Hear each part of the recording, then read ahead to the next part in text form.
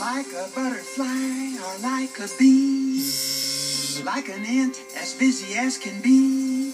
These little words we call the busy. Nine Prepositions or ten of them do most all of the work. of on to within from by far at over across. And many others do their job, which is simply to connect their noun or pronoun object to some other word in the sentence. Busy peas, if you please.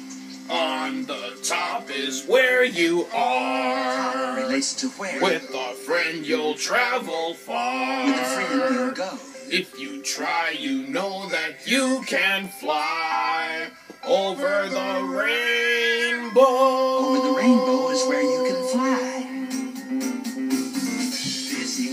Prepositions, always on the go.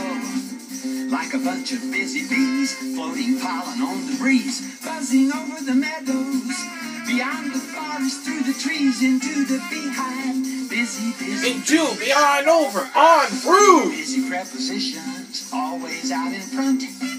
On the edges, in the crack, around the corner, from the back, in between the action, clearly to your satisfaction the location and direction.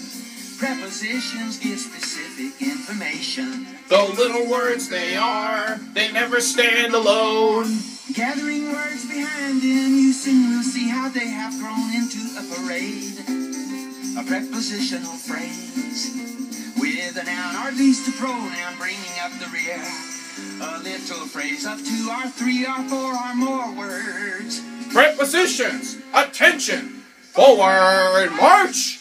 Busy prepositions, always on the march. Like a horde of soldier ants, hitching bravely forward on the slimmest chance that they might better their positions. Busy, busy prepositions. In the air, on the ground, everywhere. The sun sank lower And it will rise in the morning and will bring the light of day. Say the sun comes up in the east every day. In the east it rises. Busy prepositions, busy, busy, busy. On the top is where you On the are.